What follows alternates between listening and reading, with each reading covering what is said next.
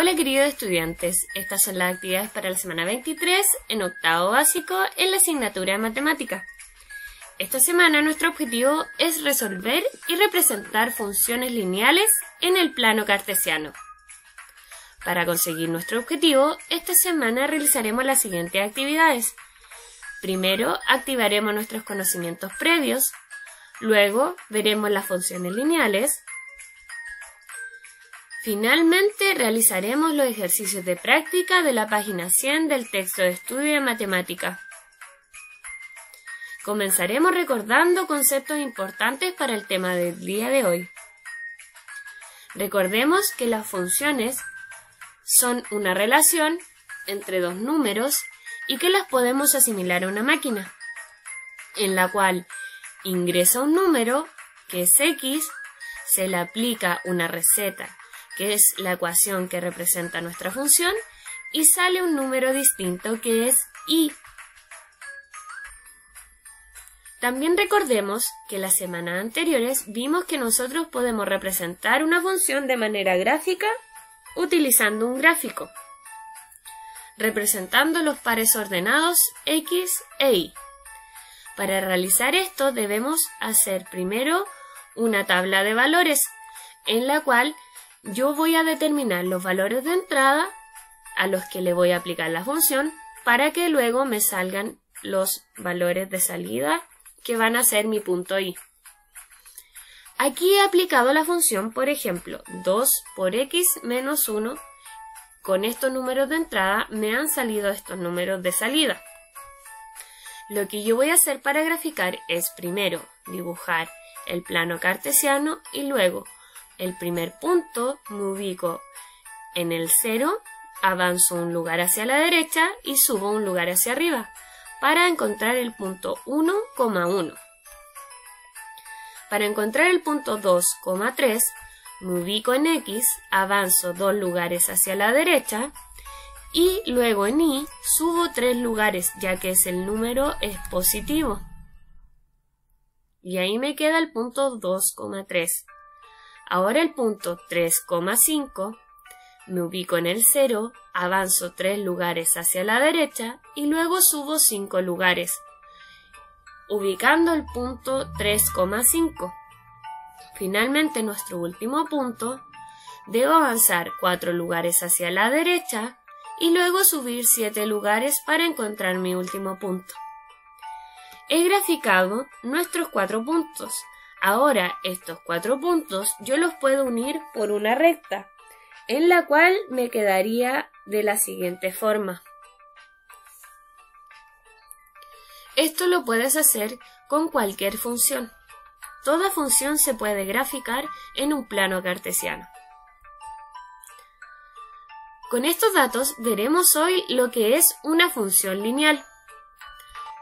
En las funciones también existen distintos tipos, Hoy veremos lo que es una función lineal. Una función lineal es una función la cual se escribe de la siguiente forma. f de x es igual a m por x.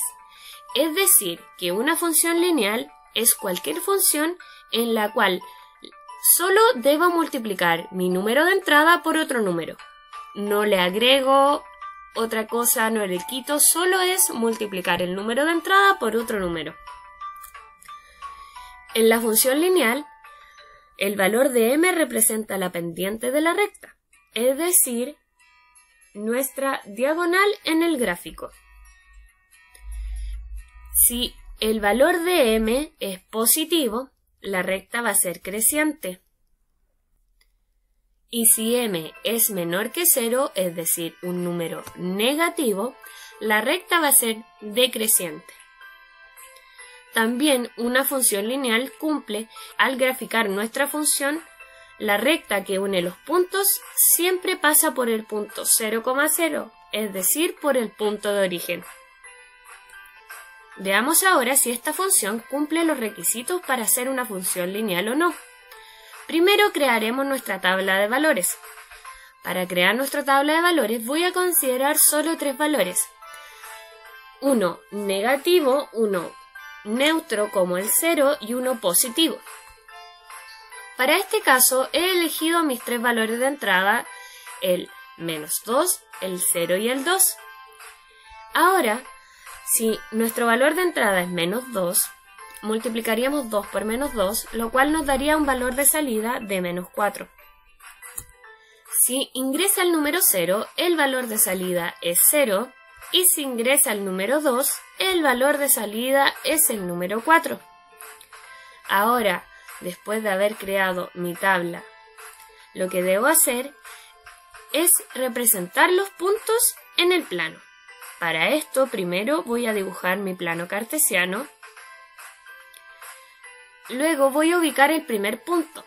El primer punto es el menos 2, menos 4. Por esto me ubico en el 0, avanzo dos lugares hacia la izquierda, ya que es negativo, y luego avanzo cuatro lugares hacia abajo, ya que el i también es negativo. El primer punto me quedaría ubicado en este lugar. Luego nuestro segundo punto está ubicado en el 0,0. Ahí no debo moverlo. Y nuestro último punto está ubicado en el 2,4. Parto del 0, avanzo hacia la derecha, ya que es positivo, dos lugares, y subo cuatro lugares, ya que el número también es positivo.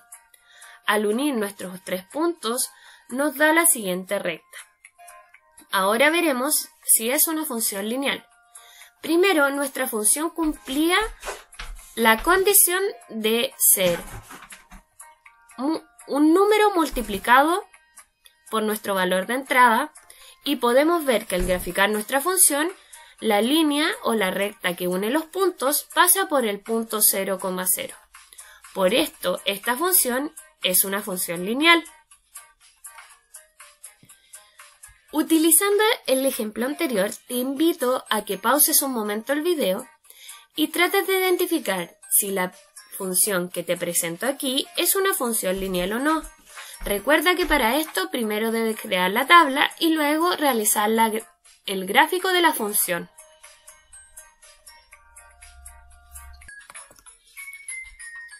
Ahora revisaremos si tu respuesta está correcta o incorrecta.